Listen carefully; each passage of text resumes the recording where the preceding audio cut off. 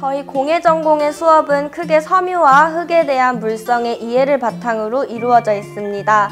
기술 습득과 더불어 작품을 창조해 나가는 과정과 여러 가지 미디어와의 연계를 통한 학습, 더 많은 종류의 물성과의 접목 등 학생들의 다양한 진로를 구체화시켜줄 수업들이 있습니다. 한쪽에만 치우쳐져 있지 않아 저희가 원하는 진로에 따라 학습할 수 있어 자율적인 발전을 이룰 수 있었습니다. 도자라고 하는 거는 여러분이 이미 너무나 잘 아시겠지만은 그 사람의 그 head, hands, heart 3H를 가지고 우리 인간 생로병사하고 똑같은 물성을 가지고 있습니다. 특히 저희 그 도자 파트는 지난 몇 년 전서부터 지금 현대 산업사에서 필요로 하는 콜라보레이션 프로젝트를 진행하고 있습니다. 옆에 앞에서 보시는 거와 마찬가지로 흙이라는 물성을 같이 해서 모든 물성, 인간에게 필요한 모든 물성을 같이 합쳐서 만들어내는 생활 공간에서 필요한 도구를 만들어내고 있습니다. 저희 학교에서 배출하신 국가무형문화재 78호 홍정실 선배님도 여기 계십니다. 이 선배님이 주축이 되어서 산업사에서 필요로 하는 무덤에서 요람까지 가는, 요람에서 무덤까지 가는 물성을 끊임없이 저희 학교의 시작과 같이 시작한 공예학과 도자파트에 대한 이야기입니다. 공예학과 수업은 디자인과 순수예술이 집합된 분야로 그 종류도 다양합니다. 섬유와 도자를 함께 다루므로 여러 수업을 들어보면 자신의 성향에 맞는 그런 매체를 선택하여 주로 심화 수업을 하게 됩니다. 섬유 전공에서는 텍스타일 디자인과 순수 섬유 조형 작업을 하게 됩니다. 특히 섬유는 단계별 학습이 가능하도록 수업이 개설되어 있습니다. 관심 분야를 연계해서 듣는 심화 수업을 추천합니다. 예를 들어 염색에 관심이 있다면 기초 염색공예, 서비스 디자인, 프린팅 스튜디오를 듣고 4학년 때 개별 주제 연구에 프린팅을 선택해서 들으면 염색과 프린팅에 관한 온갖 기법의 나련 방식을 익힐 수 있습니다. 위빙에 관심 많은 학생들에게는 크로셰, 니트, 종이로 작업하는 조형 수업을 듣고 4학년 때 개별 주제 연구에 weaving을 선택합니다. 학생들의 졸업 후 진로는 다음과 같습니다.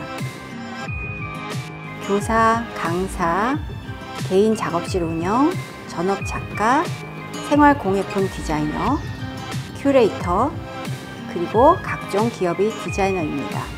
기업들의 종류는 분야가 다양합니다. 패션과 접목한 기업도 있고 패션 악세사리 그리고 그래픽과 결합한 시각 쪽 디자인을 하는 학생들도 있습니다.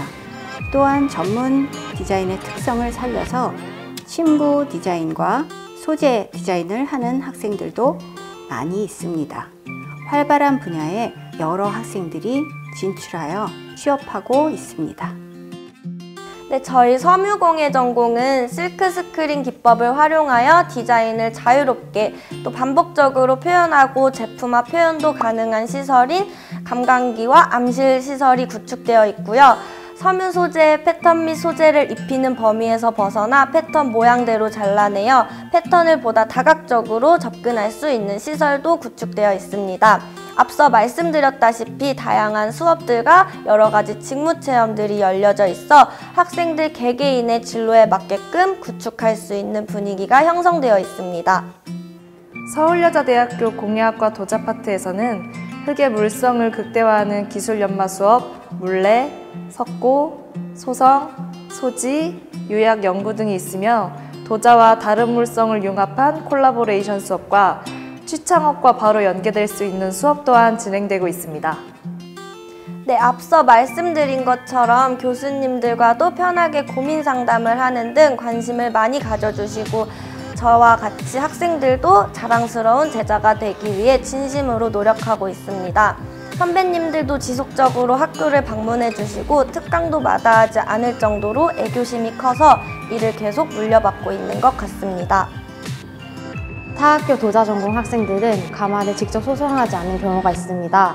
그래서 가마에 대한 이해도가 낮은 반면 서울여자대학교 공예학과 도자 전공 학생들은 가마를 직접 소송하고 배우기 때문에 가마에 대한 이해도가 높습니다. 저는 이 점을 가장 큰 장점이라고 생각합니다. 입학하게 되고 학업에 몰두하는 지금까지 모든 순간 서울여대인으로서 그리고 공예인으로서 자랑스럽지 않은 적이 없었습니다.